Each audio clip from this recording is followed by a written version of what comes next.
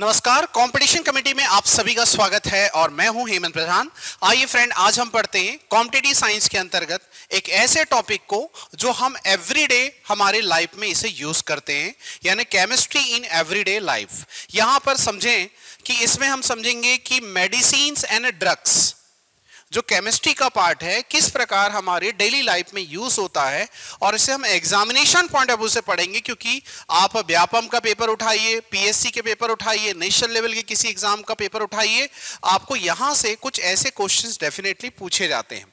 तो चलिए हम समझते हैं आज के सेशन को, जिसमें कि डिफरेंट टाइप के मेडिसिन एंड ड्रग्स को समझेंगे, यानी पूरे केमिस्ट्री का पार्ट है इसमें।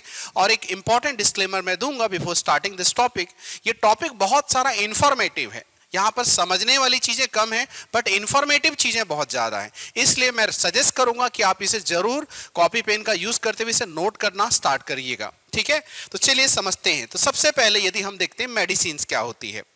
मेडिसिन या दवाइयाँ जिसे हम या औषधि जिसे कहते हैं, जो क्या है, किसी भी डिसीज में आप ट्रीटमेंट के तौर पे यूज़ करते हैं, या फिर वो हो सकता है कोई पेन रिलीफ होगा। या तो पेन रिलीफ होगा, चाहे वो दर्द किसी भी प्रकार का हो हाथ पैर दर्द हो सकता है हेडेक हो सकता है, किसी भी प्रकार का दर्द हो सकता है, या फिर हम कहेंगे किसी डिसीज में यूज़ किए जाने वाला जो आपका ट्रीटमेंट में यूज़ किया जाने वाला जो केमिकल है, हम उसको क्या कह रहे हैं डिसीज उसको कह रहे हैं, हम मेडिसिन कह रहे हैं। तो वे केमिकल सब्सटेंस जो क्या है, आपके ट्रीटमेंट में यूज़ किए जाते हैं, किसी डिसीज में या पेन रिलीफ के तौर पे यूज़ किए जाते हैं ह्यूमन बॉडी में, उसे हम क्या कहते हैं, आपको मेडिसिन कहते हैं, औषधि कहते हैं। तो यहाँ पर जैसे कि ये भी दर्द निवारक कहा कहा जाता है एस्पिरिन को। ये टिंक्चर आयोडीन होता है, जब आपको चोट लग जाती है तो इसे लगाया जाता है। या उसका एक सिंपल फॉर्म है डेटॉल या सेवलॉन यूज़ करते हैं। तो ये एक छोटा सा एग्ज़ाम्पल हो सकता है मेडिसिन का। ये मेडिसिन के कई टाइप हो सकते हैं भाई, ठीक है? इसमें अगर हम पहला बात करते हैं एंटीसेप्टिक क्या है? तो एंटीसेप्टिक वर्ड बड़ा यूज़ किया जाता है। पूती रोधी, जिसको एग्ज़ाम में कई बार पूछा जा चुका है तो एक्चुअल में एंटीसेप्टिक मींस जो भी माइक्रो ऑर्गेनिजम्स होंगे, उनके ग्रोथ को रोकता है या नष्ट करता है, उसे क्या कहते हैं? एंटीसेप्टिक कहते हैं। जैसे कि डेटॉल है सेवलॉन है है ना? सिवेटेबलॉन है एक्रीफ्लेविन है आयोडीन टिंक्चर है मैथिलीन ब्यूलू है, या फिर के यानी कि पोटेशियम परमैग्नेट है, ये सब क्या कहलाते हैं? एंटीसेप्टिक कहलाते हैं। क्या याद रखना? छोटे छोटे पॉइंट्स में यहाँ पर डिफरेंस नज़र आएगा। ये क्या करेंगे? ग्रोथ को रोकेंगे और कुछ हद तक नष्ट भी करेंगे। 100 परसेंट जो नष्ट करेगा, देखो, अगर हम बात करते हैं, अगर इसमें मैथ जो है आपका लाइक फिनाइल का परसेंटेज 0.2 परसेंट है तो ये कुछ हद तक क्या करेगा? नष्ट करेगा और इसके वृद्धि को रोकेगा। लेकिन इसके परसेंटेज को हम बढ़ा के टू परसेंट कर देंगे ना तो ये इसका काम, इसका नाम बदल जाएगा। चलो, उसकी बात मैं करूँगा, लेकिन आपको पहले एंटीसेप्टिक समझना है तो एंटीसेप्टिक ग्रोथ को रोकेगा और नष्ट करेगा उसे एंटीसेप्टिक कहते हैं। जैसे आपका अलग अलग एग्ज़ाम्पल आ गया, ठीक है? जैसे कि आप डेटॉल या अलग अलग जो केमिकल्स यहाँ नज़र आ रहे हैं, उसका जो है डायल्यूटेड सोल्यूशन को हम क्या है यूज़ करते हैं। है ना? उसको घाव वगैरह को क्लीन करने में यूज़ करते हैं। और साबुन में मिला देते हैं तो ये भी क्या है एंटीसेप्टिक का काम करता है। अब यहाँ पर मैं यदि बात करूँ एंटीसेप्टिक के अलावा एक वर्ड आता है दैट इज़ डिसइंफेक्टेंट तो डिसइंफेक्टेंट को हम क्या कहते हैं वी संक्रामक कहते हैं। तो ऐसे केमिकल ऐसे केमिकल जो हैं, जो माइक्रो ऑर्गेनिज्म को कंप्लीटली क्या करते हैं डिस्ट्रॉय कर देते हैं। इसे डिसइंफेक्टेंट कहते हैं। अब आपको समझ में आया एंटीसेप्टिक और डिसइंफेक्टेंट में डिफरेंस ये कंप्लीटली क्या करेगा? पूरी तरह से उस एरिया में जितने भी आपके केमिकल या फिर डिफरेंट टाइप के माइक्रो ऑर्गेनिजम्स होंगे, उसको कंप्लीटली क्या करेगा? डिस्ट्रॉय कर देगा। इसको हम डिसइंफेक्टेंट या वी संक्रामक कहते हैं, है ना? ये लिविंग टिश्यूज के लिए जो है बहुत ही डेंजरस या टॉक्सिक होते हैं। इसलिए जैसे कि टॉयलेट क्लीन करना है, फर्श को क्लीन करना है तो हमको डिसइंफेक्टेंट का यूज़ करना चाहिए।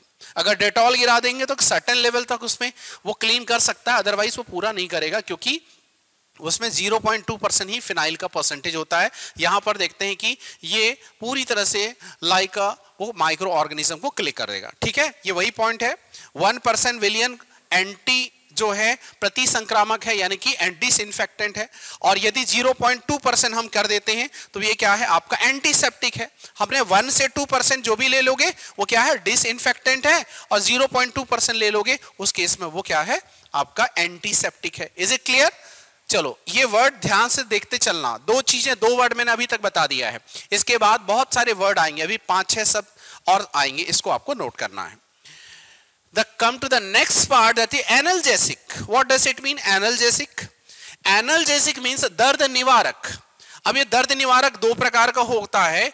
एक है नार्कोटिक्स और एक है नॉन नार्कोटिक्स ठीक है? केयरफुली समझना. जैसे कि यहाँ पर देखते हैं, वे औषधियाँ जो दर्द से आराम दिलाती हैं, वो एनलजेसिक कहलाती है. ये दो प्रकार की होती है. कुछ ऐसे नार्कोटिक्स होती है जो आदत बन जाती है. इसे ड्रग भी हम कह रहे हैं. ठीक है ड्रगिस्ट एंड केमिस्ट लिखा होता है, इसलिए देखना, जो मेडिकल शॉप का जो है, वो जो संचालन करता है, उसका नाम पर। तो यहाँ पर हम बात करते हैं कि नॉर्कोटिक्स जो, जिसकी आदत बन जाती है, और दूसरा है नॉन नॉर्कोटिक्स क्या होता है दोनों देखो। नॉर्कोटिक्स क्या होते हैं? जनरली एल्केलॉइड होते हैं, और जैसे कि हमको पता है कि अफीम अफीम का नाम जानते हो? पेपावर सोमिनीफेरम क्या मैंने कहा?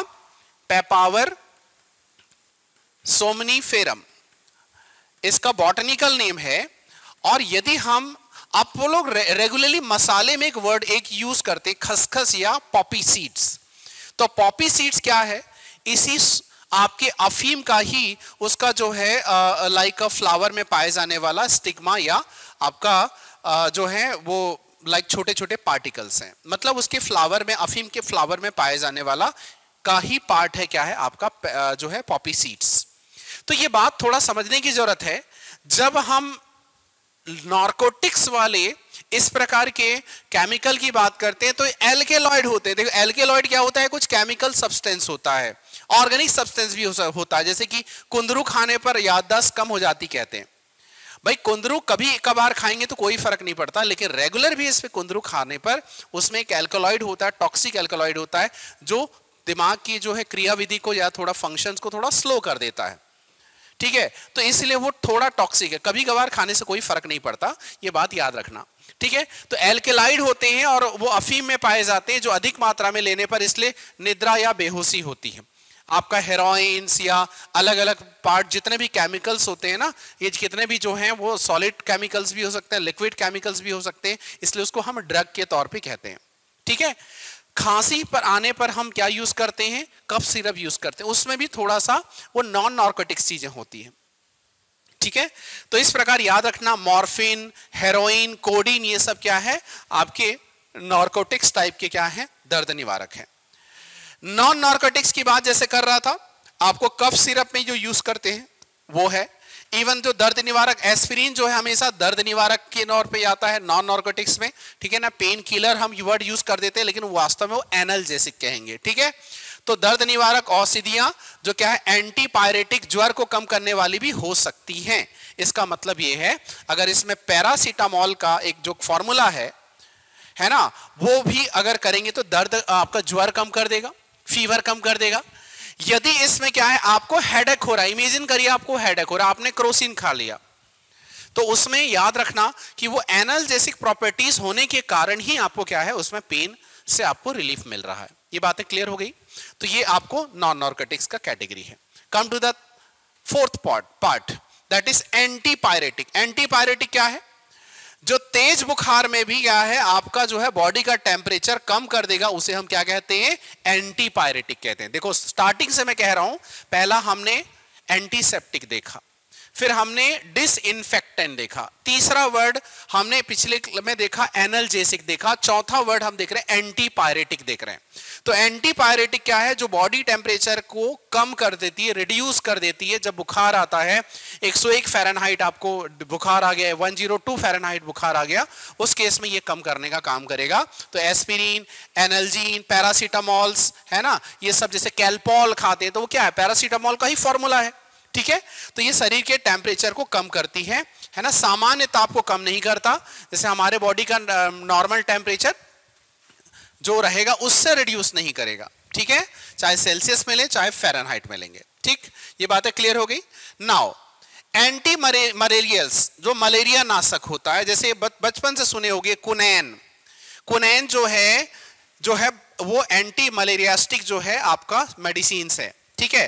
तो एंटी मलेरियल मलेरिया की केस में बुखार आता है शरीर का तापमान कम करने के लिए काम में आने वाली जो एंटी मलेरियल जो है मेडिसिन कहलाती है, जैसे कुनैन क्लोरोक्विनैन पैराक्विनैन प्रीमा क्विनैन इस प्रकार की चीज़ें आ सकती है। तो क्विनैन वर्ड देखते हैं, आँख मूंद के टिक कर देना, वो एंटी मलेरियल मेडिसिन है।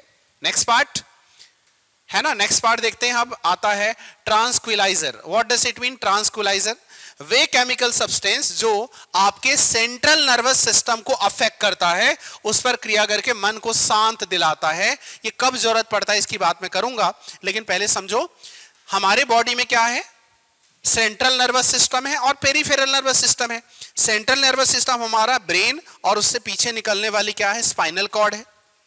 और पेरीफेरल नर्वस सिस्टम बात करते हैं हमारे पास कि इससे निकलने वाले हमारे हाथ का जैसा मूवमेंट है, पैर का मूवमेंट है, या आप जो बॉडी के जो पेरीफेरी में जो मौजूद है, परिधि में जो मौजूद है, वो पेरीफेरल नर्वस सिस्टम है। ये बात याद रखना। जैसे ब्रेन से निकलने वाले को ब्रेन से निकलने वाला को हम क्या कहते हैं? क्रेनियल नर्व्स कहते हैं। ट्वेल्व पेयर्स हमारे बॉडी में क्रेनियल नर्व्स है। और यदि हम बात करते हैं स्पाइनल कॉर्ड तो इस स्पाइनल कॉर्ड से निकलने वाले नर्व्स को क्या कहेंगे? स्पाइन नर्व्स कहते हैं। स्पाइन नर्व्स कहते हैं।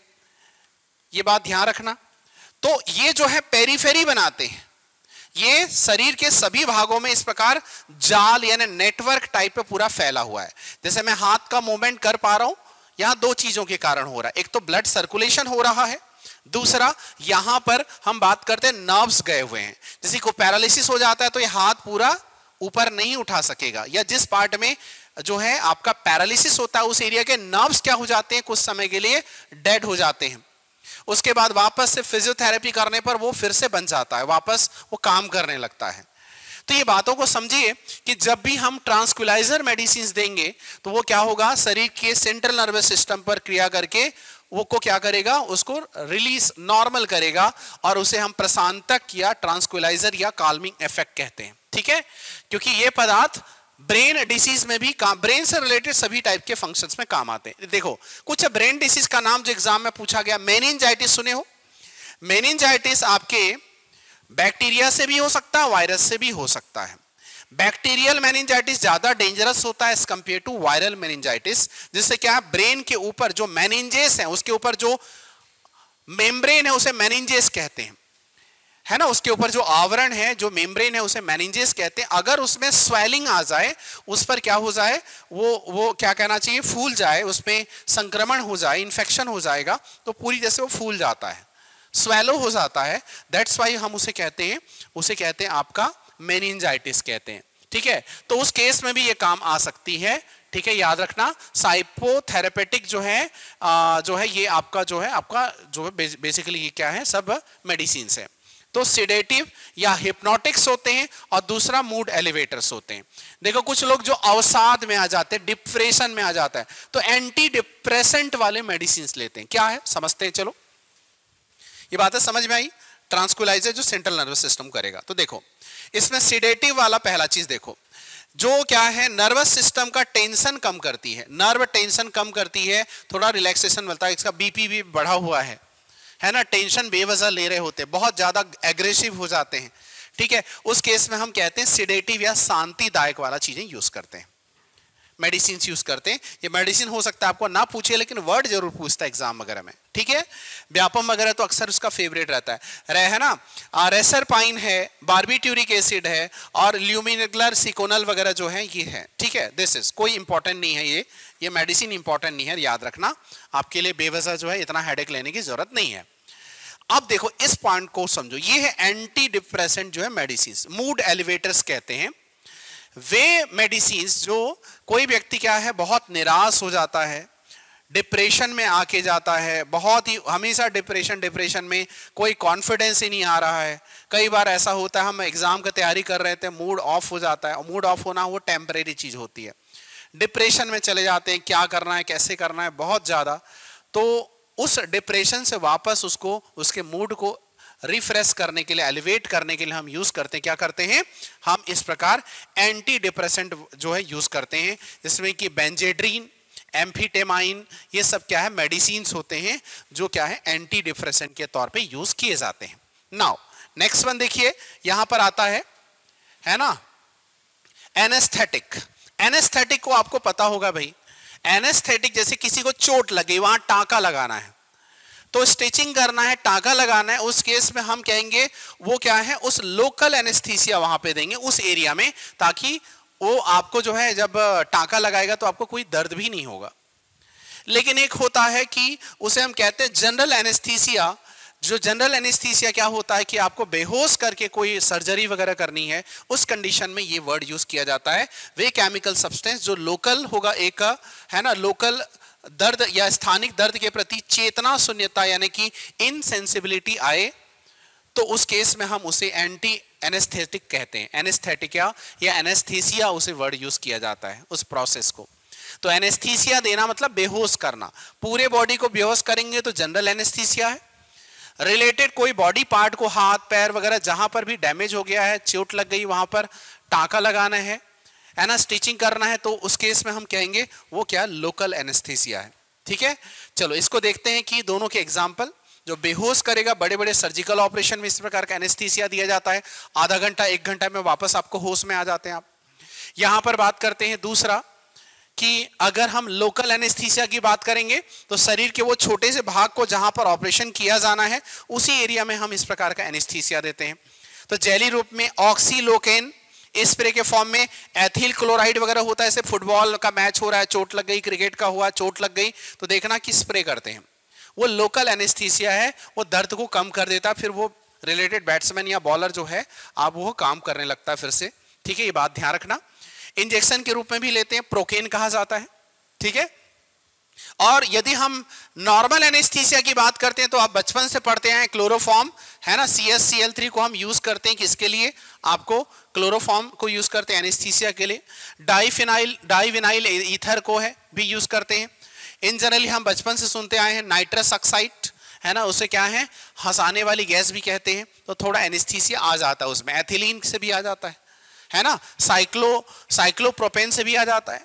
तो ये चीज़ें आपको याद रखनी है। ठीक come to the next point ये पूरा डेवलपमेंट है ये आपके लिए रिक्वायरमेंट नहीं है इसको आप स्किप कर सकते हो है ना? बट वहाँ पे याद रखना कि 1844 से नाइट्रस ऑक्साइड से लेकर हम देखते हैं कि बहुत सारे एडवांस में आजकल जो है इस प्रकार के आ, जो है एनेस्थीसिया यूज़ किए जाते हैं। ये बहुत बचपन से सुनते आओगे एंटीबायोटिक क्या है एंटीबायोटिक का मतलब?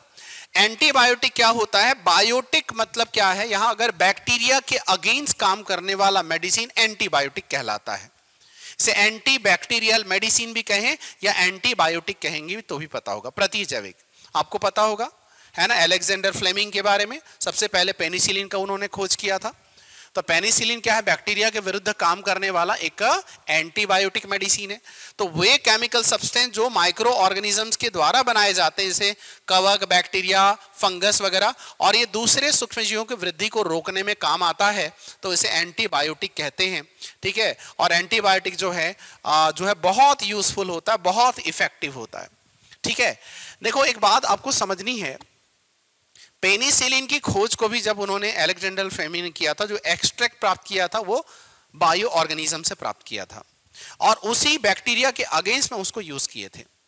तो ये मेडिसिन कोई प्लांट से भी मिल सकते हैं, कोई फंगस से भी मिल सकते हैं, कोई बैक्टीरिया से भी मिल सकते हैं, कहीं से भी मिल सकते हैं। पेनिसिलिन हो गया स्ट्रेप्टोमाइसिन हो गया क्लोरोमाइसिटिन हो गया टेट्रासाइक्लिन हो गया, इसे ज़रूर याद रखें। These are the example of antibiotics ठीक है? पेनिसिलिन, निमोनिया, जो डिप्लोकोकस निमोनी से होता है, ठीक है? तो यहाँ पर क्या है? डिप्लोकोकस निमोनी क्या है? एक का बैक्टीरिया है। ब्रोंकाइटिस, ठीक है? ब्रोंकस में जो इंफेक्शन वगैरह होता है, उसमें, है ना? एप्सेसिस गलघोटू, ये आदि में सब चीज़ें यूज़ किया जाता है, ठीक है? आपका। वैसे हम कुछ और जो है लाइक like कुछ आर्टिफिशियल एंटीबायोटिक देखो बायोटिक ये वर्ड जो यूज़ हो रहा है ना तो वो बायो ऑर्गेनिज्म से प्राप्त हो रहा है। तो एक तो नेचुरल होता है, जिसमें मैंने फंगस बैक्टीरिया वगैरह से एक्सट्रैक्ट निकालोगे ये कहा मैंने। वैसे ही कुछ चीज़ें होती हैं, जो क्या होती हैं बेसिकली कि आर्टिफिशियल उसे बनाया गया है। तो आर्टिफिशियल यदि बनाया गया है तो जैसे स्टेप्टोमाइसिन है ना, हम टीबी में यूज़ करते हैं। क्लोरोमाइसिटीन हम टाइफाइड ठीक है? साल्मोनेला टाइफी नाम के बैक्टीरिया से होता है तो टाइफाइड से यूज़ करते हैं। मेनिंजाइटिस जो बैक्टीरिया वायरस दोनों से यूज़ आ, होता है इसके विरुद्ध भी हम एंटीबायोटिक यूज़ करते हैं। तो जैसे कि एंटीवायरल मेडिसिन अलग हो सकते हैं है ना? एंटीवायरोटिक मैं कह सकते भी है और यहाँ पे एंटीबायोटिक है ये। तो ये बैक्टीरिया वाला मेनिंजाइटिस है। निमोनिया डिप्लोकोकस निमोनी मैंने कह दिया। डायरिया डिसेंट्री वगैरह ये सब में चीज़ यूज़ की जा सकती है। बातें समझ में आई? तो ये याद रखना टेट्रासाइक्लिन किसी को तेज बुखार है, ट्रेकोमा जो आँख की डिसीज है, ठीक है, डिसेंट्री, अरे जो है, दस्त जो होता है, उसी को डिसेंट्री पेचिस कहते हैं उसे, है ना? मूत्र मार्ग में कोई संक्रमण आता है, पेशाब में जलन वगैरह आती है, उस केस में यहाँ पर हम यूज़ करते हैं एंटीबायोटिक यूज़ करते हैं। तो these are the example of different type of antibiotics प्रति जैविक बात समझ में आई? चलो, अब बात करते अगला sulfa drug. What does it mean sulfa drug? तो सल्फा ड्रग क्या होता है? ये भी बहुत ही ज़्यादा पावरफुल मेडिसिन होते हैं, है ना? इसमें उच्च प्रति जैविक शक्ति हाई एंटीबैक्टीरियल जो है प्रॉपर्टीज़ पाई जाती है। और ये क्या है? बेसिकली उन मेडिसिन का ग्रुप है जो सल्फिनामाइड का जो है, उसका जो है वेरिएंट है, या उसके डेरिवेटिव्स हैं। सल्फा ड्रग्स का मतलब ही समझो ना भाई सल्फ़र का ही कंपाउंड यानी सल्फिनामाइड माइड माइड मतलब एमाइड वर्ड जुड़ा है, यानी सीओ एनएस टू वर्ड जुड़ा हुआ है। ठीक है एमाइड वर्ड जुड़ा है। तो सल्फिनामाइड का क्या है? ये डेरिवेटिव्स है, याद रखना। इसमें हमेशा क्या है? अलग अलग वर्ड यहाँ पे यूज़ किया जा रहा है, जैसे सल्फाथाइजोल सल्फाथाइजोल आपको इन्फेक्शन में यूज़ किया जाता है। सल्फापिरिडीन निमोनिया में यूज़ किया जाता है। सल्फाग्वानिडीन बेसिक जो डिसेंट्री या दस्त वगैरह में काम आता है, ठीक है? वैसे ही हम बात करेंगे सल्फाडाइजिन, ये तो बहुत सुने हुए सल्फाडाइजिन क्या है? डिसेंट्री और आपको जो है लाइक थ्रोट या गले में कोई प्रॉब्लम है यूरिन में कोई प्रॉब्लम है, उस केस में इसे सल्फाडाइजिन मेडिसिन यूज़ किया जाता है, ठीक है? नेक्स्ट वन यहाँ पर आगे कुछ बातें समझते हैं कि कुछ ऐसे भी मेडिसिन हैं जो हमको आयुर्वेदिक फॉर्म में मिलता है, जैसे कि ऑसमम सैनेटम या तुलसी। घर घर में तुलसी होती है तो तुलसी के पत्ते में भी कुछ ऐसे पॉजिटिव एल्केलाइट्स होते हैं पॉजिटिव केमिकल्स होते हैं, जो आपको यहाँ पर मेडिसिन का काम आता है। ठीक है? वैसे ही आप अलग अलग जितने भी आयुर्वेदिक जो मेडिसिन होते हैं, उनके भी, उन प्लांट के एक्सट्रैक्ट का, किसी का क्या है रूट का, किसी का स्टेम का, किसी का लीफ का, किसी के, उसके लाइक फ्लावर का, इनके एक्सट्रैक्ट से भी डिफरेंट टाइप के मेडिसिन आपको मिलते हैं। तो आज के सेशन में हमने केवल ये समझा कि केवल कुछ आर्टिफिशियल मेडिसिन से ही सब चीज़ें नहीं चलती, बल्कि यहाँ पर बहुत सारे ऐसे केमिकल के नेम हैं उन नेम पर आधारित डिफरेंट टाइप के नॉमन आपने देखा कि एंटीबायोटिक एंटीपायरेटिक या एनएलजेसिक या एंटीबायोटिक अलग अलग जो वर्ड्स आपको मैंने बताया, ये प्रॉपर्टीज़ वो नेचुरल कंटेंट में भी मिल सकते हैं और इसे क्या है, आपकी फैक्ट्रीज में फार्मा इंडस्ट्री के द्वारा बनाए भी जाते हैं। तो दोनों ही केस में जो उसका जो केमिकल होता है, वो सेम होता है। जैसे सल्फा ड्रग होगा तो सल्फेनामाइड मैंने कहा, वो हो सकता है कि वो नेचुरल में भी मिले, वो आर्टिफिशियल भी मिले। एंटीबायोटिक कई बार क्या होता है कि कुछ चोट वगैरह लगते ही कोई पत्ती को निचोड़ के हम क्या कहते हैं, उसको क्या है, उसका रस को डाल देते हैं तो एंटीबायोटिक का काम करने लगता है।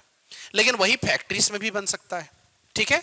तो याद रखना कि रेगुलर लाइफ में यूज़ होने वाले इन ड्रग्स और इन मेडिसिन को आप ज़रूर याद रखना। एटलीस्ट उनके वर्ड में ही आंसर छुपा होता है और इसी के बेस पर हम यहाँ पर इससे रिलेटेड प्रश्न आप बना सकेंगे। तो paracetamol is not a medicine that is formula और उस फॉर्मूले पर बेस्ड जो मेडिसिन है, उसको हम पैरासीटामोल ही कह देते हैं। कैलपॉल उसमें भी पैरासीटामोल है। पैरासीटामोल इट्स पैरासीटामोल मेडिसिन है और फॉर्मूला भी है। तो ये बातें आपको ध्यान रखनी है। तो डिफरेंट टाइप के कोई भी प्रॉब्लम होती है तो तुरंत के तुरंत आपको मेडिसिन लेने से बचना चाहिए, क्योंकि आपके बॉडी में एंटीबॉडी बनना बंद हो जाता है। तो थोड़ा बहुत आपको अपनी इम्यूनिटी बढ़ाने के लिए क्या करना पड़ेगा? नेचर के साथ बॉन्डिंग बढ़ानी पड़ेगी उसके साथ एक्लेमेटाइज होना पड़ेगा अनुकूलित होना पड़ेगा। गर्मी है तो थोड़ा गर्मी सहन कीजिए। ठंड है तो स्वेटर थोड़ा कम यूज़ करिए। ठीक है? आ, बुक कभी बारिश में जब पहली दूसरी तीसरी बारिश हो जाती है तो कभी भीगने निकलिए। इससे क्या होता है कि आपकी बॉडी की इम्यूनिटी बढ़ती है रेजिस्टेंस पावर बढ़ता है क्योंकि वो नेचर के साथ हम बॉन्डिंग शेयर कर रहे हैं उसके साथ बंधन बना रहे हैं। उससे भागना नहीं है। ठीक है? ये आपको एडवेंचर स्पोर्ट्स में भी सिखाया जाता है। आप हिमालय रीजन पे कभी जाइए एडवेंचर करिए तो आपको कान ढकने नहीं देंगे, कितना भी टेम्परेचर हो। माइनस में टेम्परेचर भी होगा तो कान ढकने से मना करेंगे, अगर आप एडवेंचर करना जा रहे हैं तो। ठीक है? उसके बाद एक्लेमेटाइज हो जाएँगे तो फिर वहाँ पर वो रेजिस्टेंस पावर आ जाती है। आई होप ये बातें क्लियर हुई। ठीक है? अब चूँकि आप डिफरेंट टाइप के एग्ज़ाम्स के नोटिफिकेशन आने वाले हैं तो आप, मैं बहुत सारे ऑब्जेक्टिव के सेशन भी लेकर आऊँगा आप लोगों के लिए, जो साइंस बेस्ड होगा टेक्नोलॉजी बेस्ड होगा। और अपकमिंग क्लासेस में हम एक नया ही और इंपॉर्टेंट टॉपिक पढ़ेंगे, जो आपके लिए पूरी तरह से नया होगा that is six and five कि आने वाले समय में 5G एंड 6G की दुनिया किस प्रकार ट्रांसफॉर्मेशन लेकर आएगी, इन सबको लेकर नेक्स्ट सेशन में हम मिलेंगे। और कुछ मैथमेटिशियन के नाम भी बचे हुए उसको भी मैं बहुत जल्द कवर कराऊँगा, जो आपके लिए हेल्पफुल रहेगा। ठीक है? तो आज के लिए इतना ही रखते हैं, मिलते हैं नेक्स्ट क्लास में। Thank you so much have a nice day